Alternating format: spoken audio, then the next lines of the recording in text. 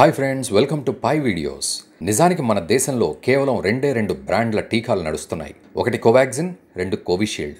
అయితే వీటి ప్రొడక్షన్ వీటి వినియోగం నత్తనడకన సాగుతున్నాయి. మన దేశంలో ఈ ఏడాది చివరికల్లా రెండు వందల పదహారు కోట్ల వ్యాక్సిన్స్ అందుబాటులో ఉంచుతామంటూ కేంద్రం అంచనా వేస్తోంది. దేశ జనాభా మొత్తంలో అత్యధిక వర్గానికి వ్యాక్సిన్ వేయించేస్తాము అప్పటికల్లా అంటోంది ప్రభుత్వం. నిజానికి జనాభా ఎక్కువ కాబట్టి అతి తక్కువ సమయంలో అందరికీ వ్యాక్సిన్స్ ఇవ్వడమే అనితర సాధ్యమైనప్పటికీ మన ప్రజలకు అదే శ్రీరామ రక్ష. ఎన్ని రోజులు లాక్డౌన్ల ప్రయోగం చేసినా దాంతోపాటు అందరికీ వ్యాక్సిన్స్ వేస్తేనే ప్రతిఫలం ఉంటుంది. అయితే ఈ సందర్భంలో ఒక దేశం మాత్రం మనకు గుణపాఠం నేర్పుతుంది. ఆ దేశం పేరు సెషల్స్. ఈ దేశ జనాభా కేవలం తొంభై ఎనిమిది వేలు మాత్రమే. ఇది చాలా చిన్న దేశం. ఇక్కడ యుద్ధ ప్రాతిపదికన అరవై రెండు శాతం జనాభాకు వ్యాక్సిన్ వేయించడం జరిగింది. ఇందులో దాదాపు యాభై ఏడు శాతం మందికి చైనాకు సంబంధించిన సైనోఫామ్ వ్యాక్సిన్ వేయడం జరిగింది. పద్దెనిమిది నుండి అరవై సంవత్సరాల మధ్య వయసు వారు ఈ వ్యాక్సిన్ వేసుకున్నారు. మిగతా నలభై మూడు శాతం మందికి భారతదేశానికి సంబంధించిన కోవిషీల్డ్ వ్యాక్సిన్ వేయడం జరిగింది. నిజానికి సేషల్ ఒక పర్యాటక దేశం. పర్యాటక రంగంపై బాగా ఆధారపడ్డ దేశం. ప్రపంచవ్యాప్తంగా ఎంతోమంది పౌరులు ఈ దేశానికి వచ్చి ఇక్కడి వాతావరణాన్ని అద్భుతంగా ఎంజాయ్ చేస్తూ ఉంటారు. కాబట్టి అరవై ఏడు శాతం వ్యాక్సినేషన్ పూర్తయిన తర్వాత ఇప్పుడు ఇక భయం లేదు అనుకున్న ప్రభుత్వం పర్యాటక రంగాన్ని మళ్ళీ గాడిలో పెట్టింది. మే ఒకటి నుండి వ్యాక్సిన్ వేయించుకున్నాను అని సర్టిఫికెట్ చూపెట్టే ప్రతి ఫారినర్కి కూడా తమ దేశంలో తిరగడానికి అనుమతి ఇచ్చింది. అరవై ఏడు శాతం వ్యాక్సినేషన్ జరిగింది కాబట్టి ఇక లాక్డౌన్ లాంటి అవసరం లేదు అనుకుని ఆ దేశం దాంతో ప్రజలు కూడా చాలా స్వేచ్ఛగా బయట తిరిగారు. అంతా మామూలుగా ఉంది అనుకున్నారు. అన్ని దేశాలు బాధపడుతున్నాయి. మన దేశం మాత్రం చాలా చక్కగా ఉంది. ఎంతో ఆనందంగా ఉంది వ్యాక్సినేషన్తో. మనం గొప్ప బాధ్యత గల పౌరులం అంటూ విచ్చలవిడిగా అందరూ తిరిగేశారు. ఆ తర్వాత ఏం జరిగిందో మీ అందరూ ఆల్రెడీ ఊహించే ఉంటారు. మళ్ళీ కేసులు పెరగడం మొదలయ్యాయి.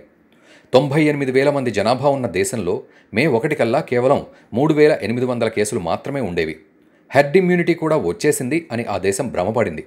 నిజానికి హెర్డ్ ఇమ్యూనిటీ అనేది శాస్త్రీయంగా పరిగణించాల్సిన విషయం. అంతేగాని వ్యాక్సినేషన్ మీద ఆధారపడి కాదు. ఇది ఒక పెద్ద చారిత్రక తప్పిదం అవుతుంది తప్ప శాస్త్రీయం ప్రామాణికం అస్సలే కాదు. పర్యవసానంగా ఇప్పుడు సెషల్లో పదివేల కేసులు దాటాయి. ఉన్నదే తొంభై ఎనిమిది వేల మంది పాపులేషన్. అందులో పదివేల కేసులు అంటే మీరే ఆలోచించుకోండి అక్కడ పరిస్థితి ఎంత తీవ్రంగా ఉందో. అది కూడా అరవై ఏడు శాతం వ్యాక్సినేషన్ వేయించుకున్న దేశం ఇది. ఇప్పుడున్న యాక్టివ్ కేసెస్లో ముప్పై మూడు శాతం మంది రెండు టీకాలు వేయించుకున్నవారు. అంటే రెండు టీకాలు వేయించుకున్న వారికి కూడా మహమ్మారి అంటుకుంది అని అర్థమవుతోంది. ఇక్కడ రెండు ఆప్షన్స్. ఒకటి టీకాలు వేయించుకున్న మహమ్మారి వస్తుంది. రెండు చైనా టీకా భారత్ టీకా పనిచేయట్లేదు. అంటే టీకా వేయించుకున్నాం కదా అని ధైర్యంగా ఉన్నంత మాత్రాన మహమ్మారి మనకు రాకుండా పోదు. డాక్టర్లు ప్రభుత్వాలు ఏం చేసినా ఏం చెప్పినా సరే సేషల్లో జరిగిన ఈ పరిణామమే ప్రపంచానికి ఉదాహరణ. రెండు వ్యాక్సిన్లు వేయించుకున్న వారు మాస్కులు లేకుండా బయట తిరగవచ్చు అని పెద్దన్న దేశం అమెరికా అధ్యక్షుడు జో బైడెన్ స్వయంగా చెప్పారు. ఇది అప్రమాణికం.